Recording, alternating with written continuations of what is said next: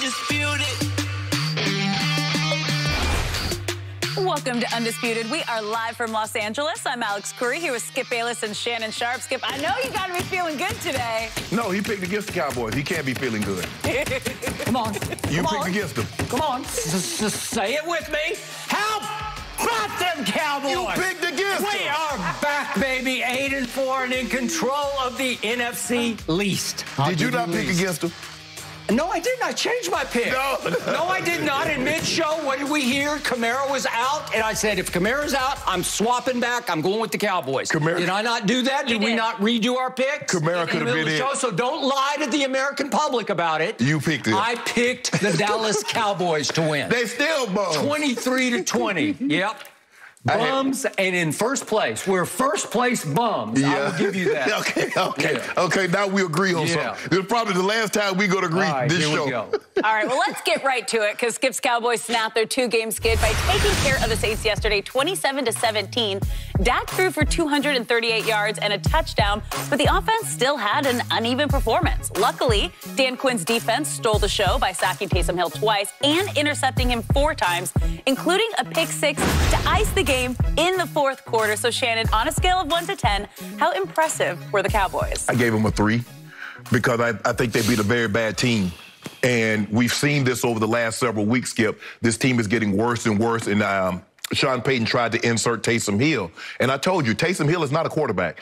Anybody that thinks Taysom Hill is going to take this team anywhere at the quarterback position, they're fooling themselves. Sean Payton is fooling himself. Sean Payton, as great a mind as he has at designing plays, he cannot create what needs to be created with Taysom Hill. First of all, he's too muscle bound. Second of all, that three quarter throwing motion is not going to work in the NFL. And he doesn't throw people open. They have to get open. Sean Payton has to design the perfect play where guys get picked off and you get uh, uh, the, the guy Humphrey, Lil John Humphrey, running wide. Jordan. Lil Jordan, Lil Jordan, excuse me, Lil Jordan Humphrey, running wide open. Guys have they have to create it. As far as him throwing the ball into a tight window or throwing with anticipation, getting guys open, that's not what he is.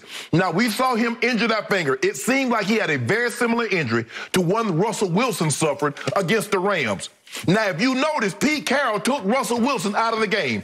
I don't think anybody that watched that game at home thought Taysom Hill is comparable to Russell Wilson. Mm. Russell Wilson had that injury, missed what three weeks, if I'm not mistaken, came back and hasn't looked the same. Well, he had surgery on it. Thank you. He had a torn tendon in his finger He of his has, throwing hand. Have he looked the same since he's been No, back? No, he has not. okay, not. so we're gonna leave Taysom Hill, who's a jack, really trying to masquerade as a quarterback, look like the same injury, but you're gonna leave him in and says, okay, he can do it. Did you see the ball tailing away? As a matter of fact, we got some tape. Hey, Mm. let, us get that tape. Let's get the tape out. This is it. This this is this is the what Skip, what is that? Mm. That, that? That's Taysom Hill. And now you want me you wanted me to give your guys a good grade here. Look at this. What what did he really?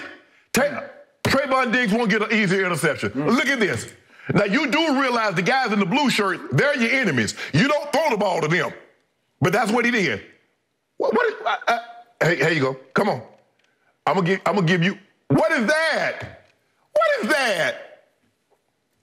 That's re- that's awful. That was awful last night. And so for me, I, I, I that's what that's why I gave him a score, uh, a bad score. Skip. They played against a very, very. He's a he's a great all around player, but he shouldn't try to play quarterback. And offensively, Skip. As Alec AC said in the read, they had a very up and down performance. I thought Dak got off to Dak was throwing the ball well. Guys made great catches, but the uh, uh, the the uh, the shot that he hit CD over the middle skip, as soon as CD head got around, the ball was stuck to his chest. The one he hit Amari over the middle that Amari like they got up out of there. He hit two to Michael Gallup. Now I'm gonna say Michael Gallup made some great catches because Dak put the ball with, but those were throws that they were the only place they could be thrown where uh, Michael Gallup could catch it, get his feet down. But then all of a sudden, something happened. It's just like Dak started spraying the ball all over in mm. that interception. Mm. So, and they didn't run the ball. They had the one big run by Tony Pollard, Skip. He broke away. But other than that, Skip, you mm. talk about, and you love to do it, you tell me this all the time. Well, if you average it up, they had 23 carries for like 90 yards. That's really not good. But uh, look, I'm gonna, I'm, I'm gonna say this. They won the ball game. I think now they have a two and a half, three game lead in that division, which we thought they would do. But I wasn't impressive. Defense took advantage of a bad quarterback. uh, uh, playing last night. Got four interceptions, three on cons- um, three consecutive possessions, mm-hmm. and a pick six. So give those guys credit. They did what they did what they needed to do on a Thursday night, mm-hmm. but that wasn't an outstanding performance from by me. If I look at it, it was not. Okay, it is my turn, and I always tell you, if not warn you, I am an objective Cowboy fan. I know that can be an oxymoron for some people, but I, I'm often a harshly objective Cowboy fan because I thought so much of my football team going into this year. Okay. I told you 12 and 5. At one point, when they got to 6 and 1, I said, hey, I'm looking at 13 and 4. Right. So I'm going to judge them on that kind of curve right. from what I saw last night. So scale of 1 to 10 for me last night, how impressed was I with what I saw in the end? I am a two. I am below you. You are a three. I am only wow. a two. I'm surprised. But my biggest takeaway from last night, which I opened the show with, was all I care about in the end.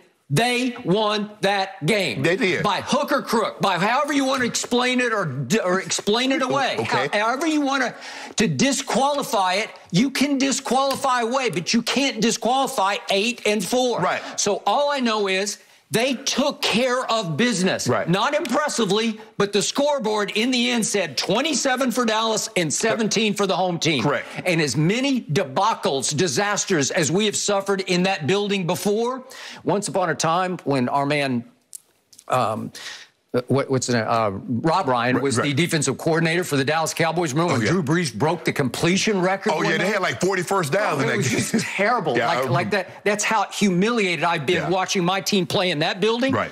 27-17 after the last time we saw Dak when he lost 12 to 10 to Teddy Bridgewater, I will take it. Have you lost that game last night, Skip, you'd have jumped off the bat. If they lost as bad as New Orleans was playing, if you lose that game to them, you'd have been done with the Cowboys for this year. What did you say? I would have jumped out of what? You'd have jumped off the bandwagon. You'd no, have jumped, I, I was going to say I would have jumped out the window, and I'm on the third floor, so I I, I would have jumped out the you window. You might have broken something, so don't do that. Walk downstairs and yell. that is correct.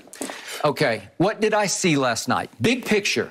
As soon as I heard just before the game, for sure, that uh, number one, Alvin Kamara out. Yeah. He is the best dual purpose back in the league. He's made the Pro Bowl all four of his years. Yeah. If you take him away from Taysom Hill, Taysom Hill is going to have a long night right. to start with.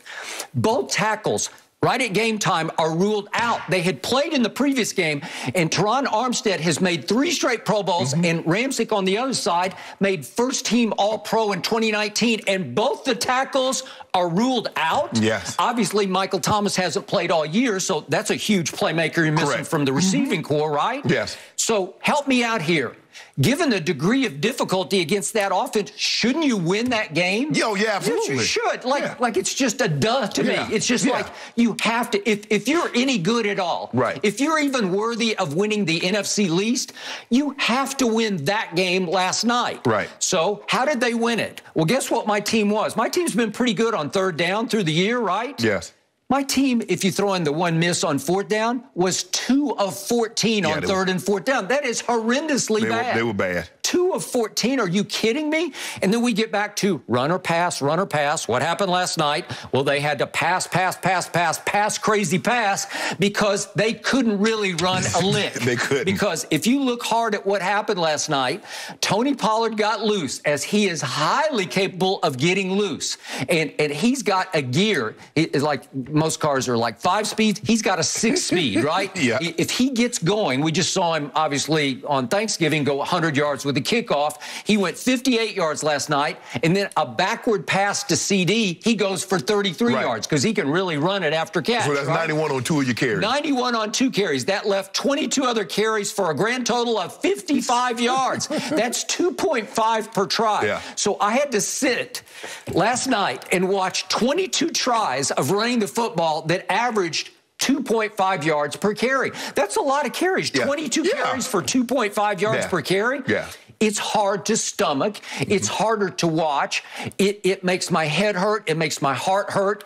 It scares me going forward right. that all of a sudden they used to be number two in the league for the right. first seven games, they mm-hmm. were number two in the league in rushing. They have now plummeted to seventh in the league in rushing. Right. And by the way, which isn't bad, no, but it's not what they were. It's why I had to watch seven punts last night. That's a lot of punting to right. do. Mm-hmm. Seven times they could not sustain and score. Right.